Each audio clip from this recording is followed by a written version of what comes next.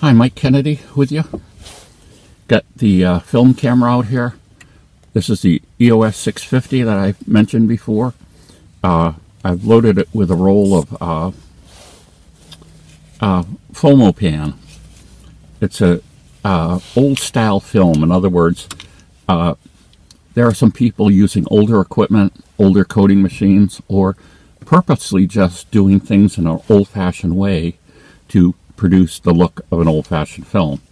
I think honestly, probably it's it's all old fashioned equipment. That's what they can do, but it finds a niche market and people that are looking for to go back to the way film once was. Okay, but so here we have uh, film camera. We got the black and white film in it, and as I said before, the value of this camera is certainly less than fifty dollars, and you probably could find it for twenty five or less.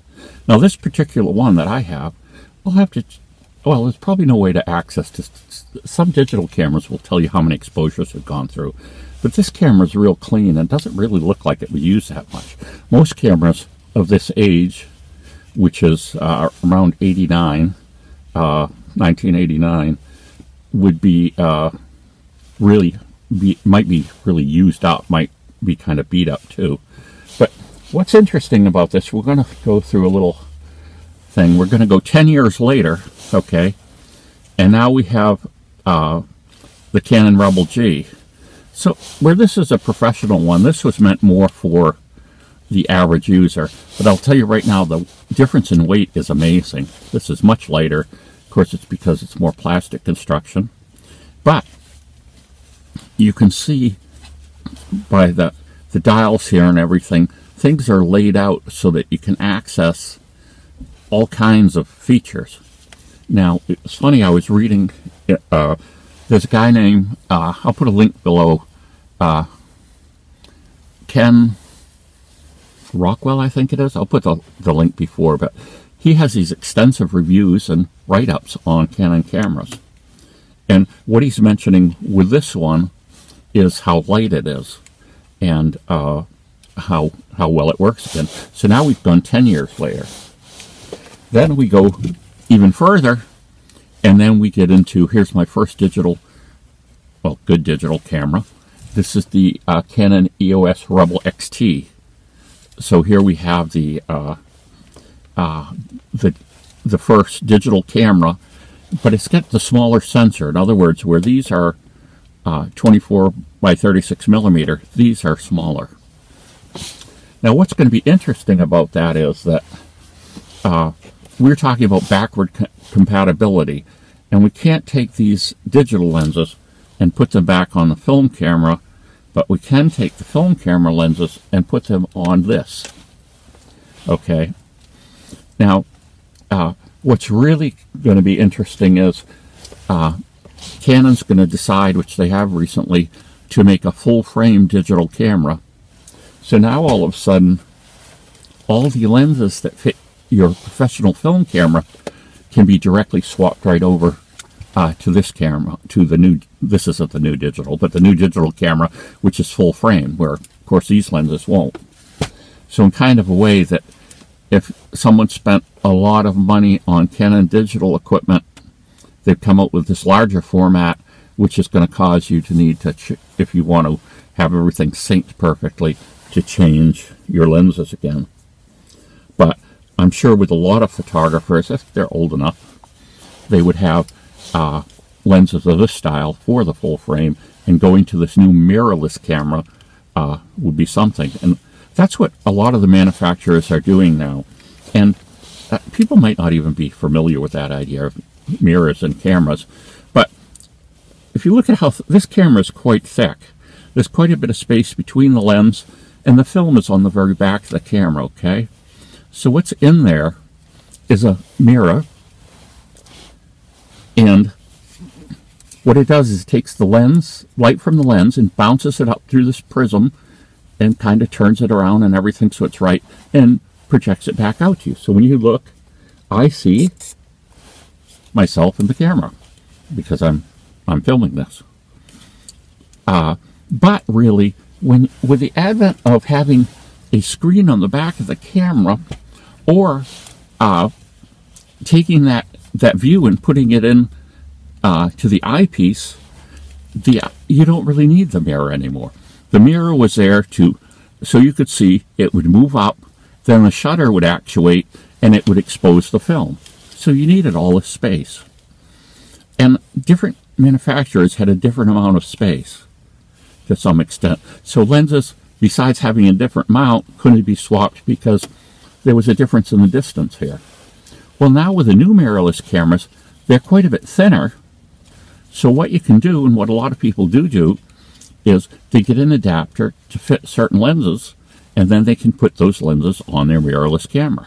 Now, of course, those those might not work completely automatically, but again, by having that adapter, uh, you can use this whole host of different lenses that are available to for the mirrorless camera to take just stills or most of these new mirrorless cameras and a lot of the newer uh, digital this one didn't but uh, my my Nikon does will do uh, movies as well and they do fairly ha- high quality movies there's even been some uh, people that have done short films that have used nothing but digital SLRs and uh, you'll see a lot of people if they show what they're using on YouTube and different things like that. If you notice fair, uh, quite a high quality uh, video, it could be that they've got a, a, digital SLR that they're using with the, the uh,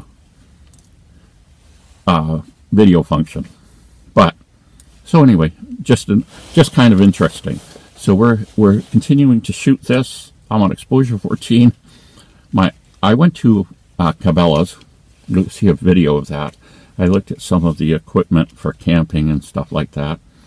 And in the center of each Cabela's, I believe, at least ours, this huge display of, of taxidermy animals, quite large ones, and, and small ones too, but including uh, a polar bear, two moose, and uh, wildebeests, uh, wolves, turkeys, skunks, uh, prairie dogs, mountain lions, different types of mountain goats.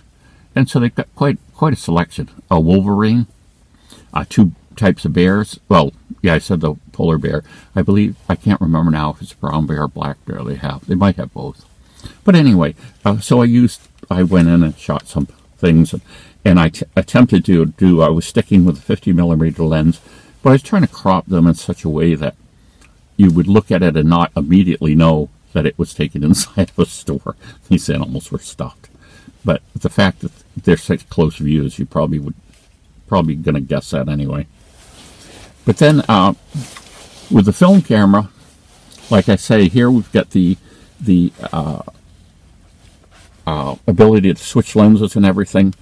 Uh, this camera, I believe someone actually gave me this one. And just kind of like, oh, we're not going to use it anymore. We'll give it to Mike which I love that. But uh, so here, this this lens is more the standard 50 millimeter 1.8 lens, which you practically never see on cameras anymore unless someone actually goes out and orders it. This is more the arrangement you usually see when someone purchases a camera, be it film or now or uh, digital, and it has it comes as standard a zoom lens that goes to uh, 28 to 80 so that is giving you with the the the smaller sensor here, the uh, normal lens is more around 40, so it gives you a slight wide angle and a slight telephoto as well. And uh, a lot of now uh, digital cameras, when you buy it with a setup, they'll have this huge zoom lens on here uh, that does even a wider range. But you know, with zoom lens lenses, you give up some. Okay, what you can see here, well, it isn't completely apparent. I shouldn't say that, but this gathers more light because it's 1.8. This one is uh, the widest it can go is 3.5. So this can take pictures in two and a half times lower light than this one can. Uh, just because of the ability for the shutter speed and how uh, still you can hold the camera uh, and though, of course, we're going to see with lenses as they develop for the digital, we're going to see the addition of not only the autofocus, but an image stabilization uh, feature as well. So then that allows you to uh, take pictures. All of a sudden, you can start using a 30th of a second or maybe even less with a lens because it's going to digitally take out that that kind of hand motion. Uh, but it probably isn't going to be as sharp as if you could take the picture on a tripod at the slower shutter speed because it's going to do some digital uh, messing around with the image a little. But for all intents and purposes, looking at it, it's going to be better. So anyway, there's a little update on this. I'm at exposure 14, and I said what we're going to do with this roll of film, rather than me develop it, I've always wanted to try this outfit called the Dark Room. And basically, I think they went up to $11, but for $11 you send them any film. Basically, they're, they're different prices for different sizes, but and then they send you back your developed film and a CD of all scans of all the pictures. And uh, that's interesting now with a lot of people abandoned film completely and went to digital. And then some people are starting to get, some people never abandoned film at all. But there are some people now who are combining the two because they realize they want what fi- something film has that digital doesn't, but they still want some of the convenience of digital. So what you will see is with a lot of people, they will do this, and uh, some of them will develop it themselves and have, if they can afford to have a decent high quality scanner, they scan the pictures in themselves. The problem with smaller sizes like 35 millimeter and scanning them is you have to spend more money to get a good scanner. When you're talking about some of the larger films like medium format film, you can have less expensive scanners that will do an incredibly good job with the larger formats than with the smaller formats. And uh, but you see this this kind of combined thing: shoot with film, scan, and uh, it's funny that one of the unique things I want to say about black and white film is how it represents the tonal range. Usually, when take people take uh, pictures with digital and they're black and white, everything's kind of a gray. There's not as many blacks, there's not as many whites, and that's because uh, the the the sensors are trying to faithfully represent uh, the light values. Well, faithfully representing them might not be exactly what you want in the way that you see the image afterwards. And sometimes applying an S curve, uh, in other words, the digital response would be straight like this. In other words, film is more like this, okay? Or maybe you want to say like this. And that S-shaped curve, if you apply that to a digital image in black and white, you'll tend to find I find immediately that you're going to like that image better because it does things, it uh, adds uh, blacks to the photo and it adds whites to the photo and it just changes that tonal representation. Now, maybe you can say it's because I'm old and I'm used to the way the film looks, but I think that that improves it a lot. I see a lot of people on, you know, some of these different pages where they they take their negatives and then they scan them and then they present the scan on the page and really they look pretty bad and they're using really expensive equipment. And it's because they don't spec- spend that extra time tweaking that image. And really scanning you have to view uh, just like printing in a black and white darkroom or, or color darkroom for that matter. In other words there's a huge amount of control that you have. Once you have the negative, you put in the enlarger, you get things like exposure time, contrast, different types of paper you can use, all these variables. Well, that's kind of true with scanning too. There's an incredible amount of things you can do uh, with the negative, and while initially you want might want to just faithfully represent as much of the information in the negative as you can, and set that scan aside.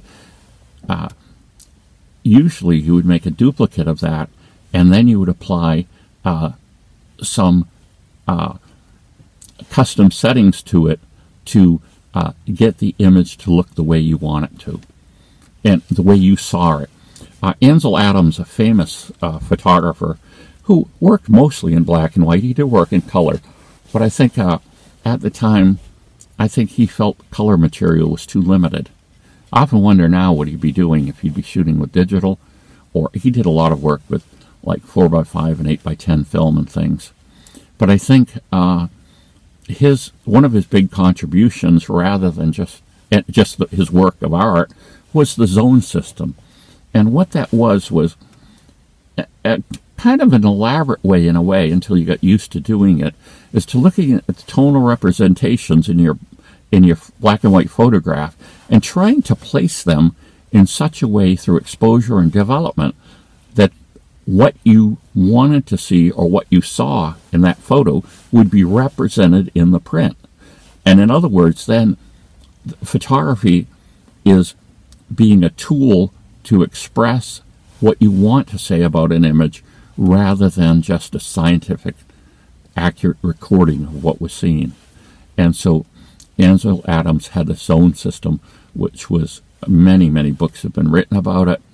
And uh, like I say, though, the idea, the nutshell of his idea was pre-visualization, looking at a scene and realizing how you wanted it to be portrayed in the final uh, print.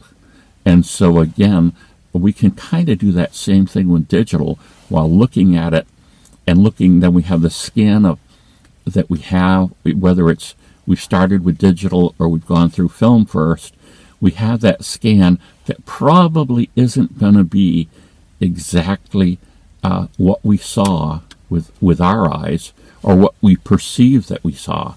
Because a lot of times the human eye is incredibly amazing.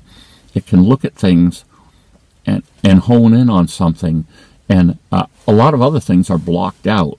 Well, when you make that final exposure and that print or that scan, all of a sudden those things become really clear. so anyway, long enough on the blurb. But here we go. More more film to come, and hopefully we'll be testing.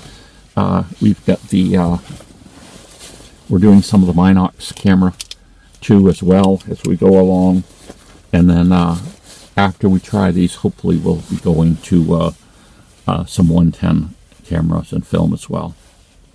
Have a good day. Bye.